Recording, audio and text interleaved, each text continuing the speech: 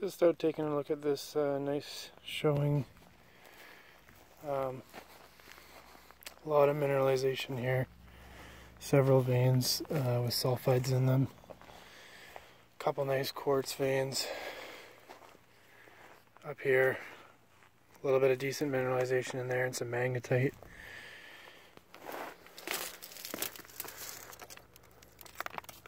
Gonna poke around here and uh, see if we can find something decent.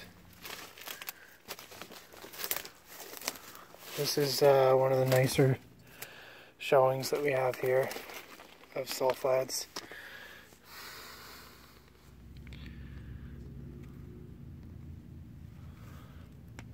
So that's uh, it's pretty decent. A lot of pyrite. So that's basically one solid vein of mineral in some of this.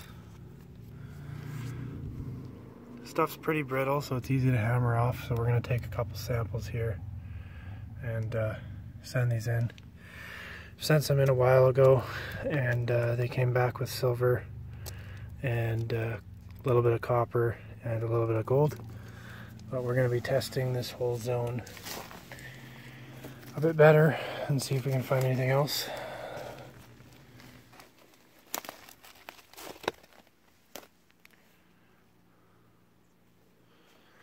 A lot of disseminated pyrite as well. Got some nice looking veins right there as well.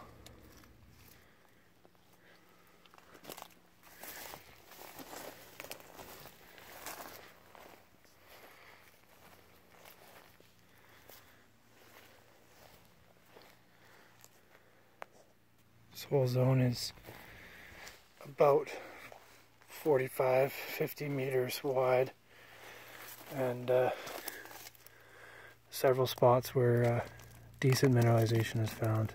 So. Again, a lot of sulfides, some copper, silver. So I'll be retesting this and uh, sending it in. Um, we took a sample from the main vein and sent that in, but haven't sampled anything else. So I'll be doing that. Another nice little patch of sulfides in there. Quartz vein right there. More quartz.